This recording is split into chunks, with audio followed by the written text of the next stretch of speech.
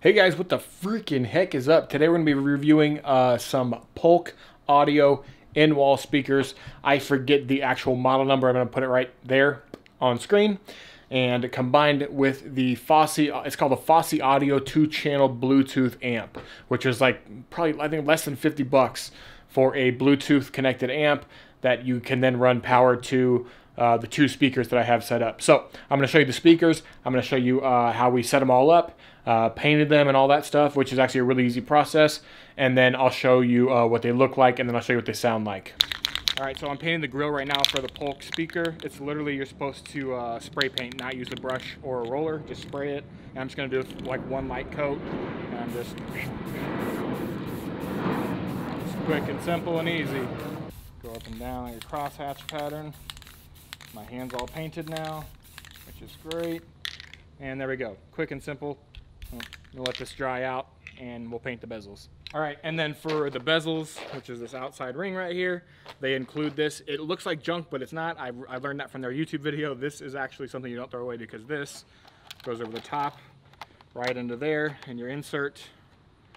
And that way, this side's up a little bit. It's not locking in there, but whatever, you know, should be fine. We're just painting bezels here.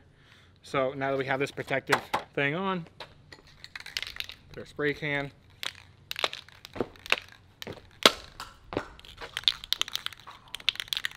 And we spray the bezels. Getting our spray paint all over my hands. Boom, boom. And I'm do the same for the other one. Not gonna film that, but that's how you do that. So I'll show you the finished product and how to install it. All right, so this is the finished product right here with the bezels. Um, you're gonna see like on the inside, you'll see some uh, white there that didn't get hit with the spray paint, but the grills when they go in there that I painted black, they're gonna go in there and you're not gonna see that at all. So those are the speakers that are now black on the outside. Now we take our template, we put it up on the wall. We're gonna mark the outside of it as long as we're straight. Yep, we're straight. Because that would suck if it was crooked. And boom, we got an outline where the hole's gonna go.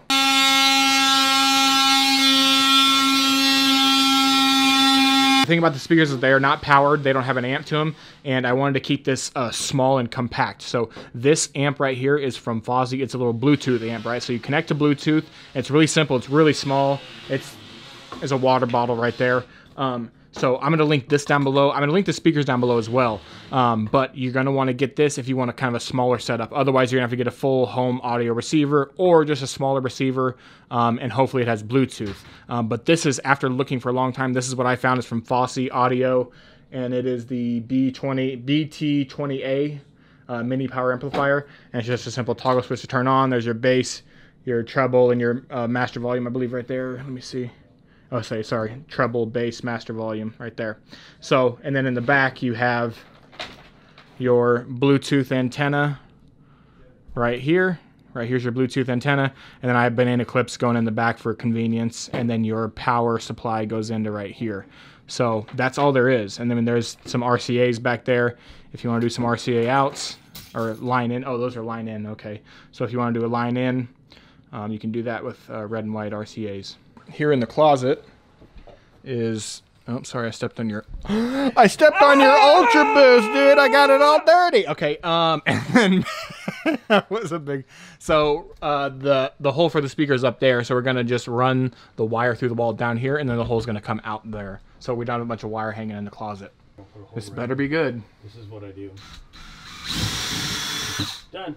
That's what I do can you explain that move though, like for people that aren't going to fully yeah. understand like the technique? The technique is you push until there's nothing to push through, and then you pull back. That's it. Okay, but can you dumb it down for us a little? Um, pressure and no pressure. Speaker wire through there. Push it. Randy's it. grabbing it from up here. You guys could hold hands in there. I mean, if you I mean, felt this, like this it. Hole over here is not quite big enough. Yeah. Pressure and no pressure. Yeah. There you go. So that that wire can be cut down. Drag it all the way through, so there's like not much slack. And then I can kind of cut that wire to length. You just lay, lay it in the wall too. Oh yeah, okay, yeah, right. This is the template in here. We're gonna trace around that, and we're trying to make it square. Now, remember that the template, I mean, I guess it doesn't matter. It's gonna, it's gonna be so hard to guess the overhang of the bezel, so it doesn't fucking matter. Yeah. But it'll be even. No, it'll be even no matter what. It just won't line up with the edge of the mirror. That's all. Which is not a huge deal. But he really I wants think it you to misjudged me. Oh. But he really wants it to line up. I mean, I guess we'll see if it lines up with the edge of the mirror. Are you running wires through? Ta-da! Boom, there's the wires for the other speaker with some cobweb included. Cowboy. Uh, these clamps on the back are drywall clamps, so whenever you start spinning them down, show them what happens. See that? And they slowly clamp down on your drywall. So when you go the other way, they open up and go back out. So that's how you do it. Something to be aware of when installing. The template is actually just like a what a millimeter, a, maybe a millimeter smaller, narrower than the actual opening here. So here, put it even on that side. Yep, see one on this side. So if you see right there, it is just like just a smidgen uh, smaller. So whenever you outline on the wall, cut a little bit outside it. Otherwise, this is not going to fit in. So we got to go back and make that hole a little bit bigger now. Great. And looky there. Now we got a solid fitment. And we just kind of go a little bit on each one. And it's kind of like um, you're tightening lug nuts on a wheel. You go opposite, opposite like that, which keeps the tension even on all sides, basically. So you can go in different patterns. You can start with like an X, like he's doing.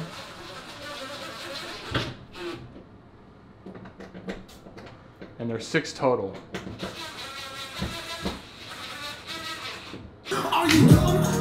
Right, speakers are in. Uh, the grills are not. I didn't put them in yet. I'm. I just wanted to give you guys a quick sound test.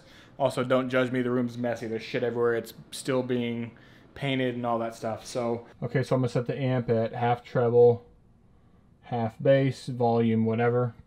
And if you have headphones, I would put them on. That way you can kind of hear the quality of the music um, versus just listening to like laptop speakers or something.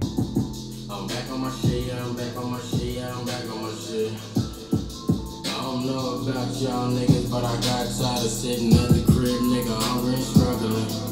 Yeah, I'm back on my shit. I swear I do this for a man's day. Floating through the mall, high as fuck, man, I swear to God, I'm on a Segway. Street code rap, I've been through the struggle, the reason I hustle, I'm blessed, cause I know that it could have been worse. I am not worried about All right, so those are those speakers. I think they sound really, really good for what they are. Another way to maybe even possibly make them sound better would be to like seal inside that wall where the speaker is to push more bass. I mean, it's already pretty bassy as it is, um, but I think that if you made like a kind of makeshift box around the speaker, that might help. Maybe they say the technology doesn't need it, but I mean, I think a speaker just every time is better with a box than without a box. But yeah, those are the speakers. I think they sound really good. Uh, I'd say nine out of ten. Um, I would take a knock a point off for the install issue with the um, with the template. But other than that, they're great. They look great. Once I put the grills in, they're gonna look really good. It's gonna be like black contrast against the the gray wall here. All the all the all the trim's gonna be gray and everything. So yeah. But anyways, that's the end of the videos, guys. I'll link everything down below. Uh, thanks for watching. If you're into this kind of stuff, house, home improvement stuff, I'm on the island right now. Uh, if you're into that kind of stuff, hit the subscribe button. If you like the video, hit the like button. Comment down below if you have any questions. I might be able to help you out. And as always, thanks for watching. Have a great day. Bye.